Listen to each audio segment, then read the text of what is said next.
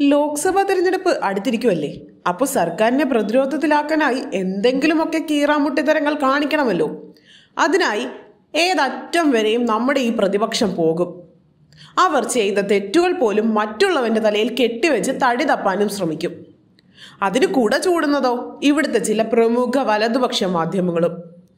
ഇപ്പോൾ സ്വകാര്യ കമ്പനിയായ കെ ആർ എം എല്ലിൽ K S I D C ഓഹരി വാഗ്ദാനം ചെയ്തത് യു ഡി എഫ് സർക്കാരിന്റെ കാലത്താണെന്നത് മറച്ചുവെച്ച് വാർത്ത നൽകിയിരിക്കുകയാണ് ഈ യു ഡി എഫ് പത്രം. ഖനനത്തിനും ധാതു വേർതിരിക്കലിനുമായുള്ള പദ്ധതിക്കായി K S I D C ഒൻപത് ദശാംശം നാല് ആറ് കോടി രൂപ അനുവദിച്ചെന്നാണ് വാർത്ത. എന്നാൽ ഈ തുക അനുവദിച്ചത് യു ഡി എഫ് സർക്കാരിന്റെ കാലത്താണെന്നത് പത്രം മറച്ചു വെച്ചിരിക്കുകയാണ് രണ്ടായിരത്തി രണ്ടിൽ നാല് ദശാംശം നാല് കോടിയും രണ്ടായിരത്തി നാലിൽ അഞ്ച് ദശാംശം പൂജ്യം ആറ് കോടിയുമാണ് അനുവദിച്ചത്. രണ്ടു സമയത്തും യു ഡി എഫ് ആയിരുന്നു അധികാരത്തിലെന്നുള്ളത് അവർ മറച്ചു വയ്ക്കുകയാണ്. ഖനനം നടത്താത്തതിനാൽ ഈ തുക കൈമാറിയിരുന്നില്ല. രണ്ടായിരത്തി പത്തൊൻപതിൽ മിനറൽ കോംപ്ലക്സ് പദ്ധതിക്കായി ഈ തുക വകമാറ്റി നൽകിയെന്ന പച്ചക്കളവും വാർത്തയിലുണ്ട്. ഖനന കോംപ്ലക്സ് പദ്ധതിക്കായി company K S I D സിയെ സമീപിച്ചെങ്കിലും അനുമതി നൽകിയില്ല എന്നതാണ് വസ്തുത.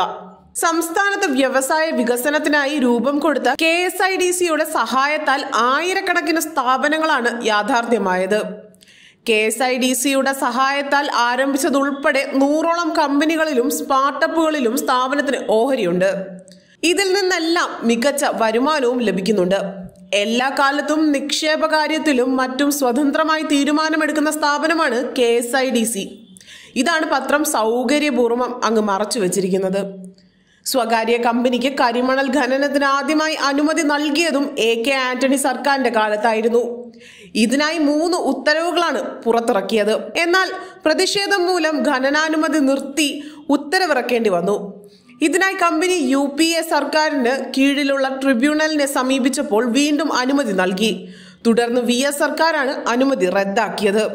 പിന്നീട് ഉമ്മൻചാണ്ടി സർക്കാരിന്റെ കാലത്ത് ഹൈക്കോടതിയും സുപ്രീം കോടതിയും കമ്പനിക്ക് അനുകൂലമായി ഉത്തരവിറക്കി. രണ്ടായിരത്തി പതിനാറിൽ പിണറായി സർക്കാർ അധികാരത്തിൽ വരുമ്പോൾ കമ്പനിക്ക് ഖനനാനുമതി ഉണ്ടായിരുന്നെങ്കിലും രണ്ടായിരത്തി പത്തൊൻപത് വരെ ഖനനം നടത്താനായില്ല. രണ്ടായിരത്തി പത്തൊൻപതിൽ സ്വകാര്യ ഖനനം റദ്ദാക്കി കേന്ദ്ര സർക്കാർ വിജ്ഞാപനം പുറപ്പെടുവിക്കുകയും ചെയ്തിരുന്നു. ഇതാണ് ബോധപൂർവം വലതുപക്ഷ മാധ്യമം മറച്ചുപിടിക്കാൻ ശ്രമിക്കുന്നത്.